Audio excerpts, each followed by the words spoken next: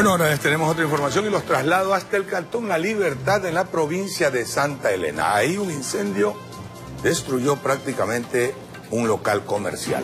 Veamos la información.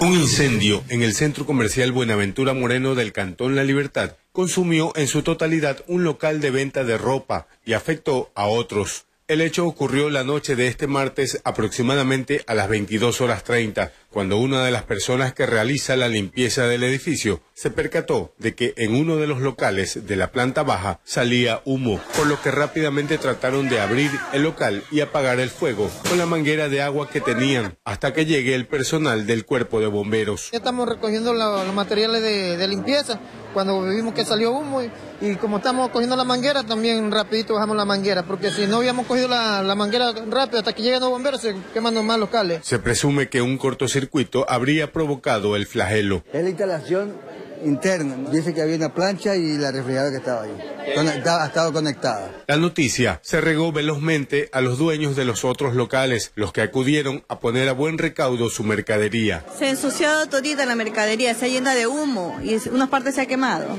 Eh, venía justamente a mi casa, yo vivo aquí al frente y comencé a ver el humo y me metí enseguida. La dueña del negocio flagelado no podía creer lo que le había sucedido. Ella asegura que antes de cerrar dejó todos los artefactos desconectados. Pero yo he desconectado todo, no sé. Será algún cable por ahí que haya estado, no sé. Las pérdidas bordean los 8 mil dólares. Este no sería el primer incendio que se presenta en este centro comercial, que tiene 500 locales y donde acuden miles de peninsulares diariamente. Desde la provincia de Santa Elena, informó Darwin Villao.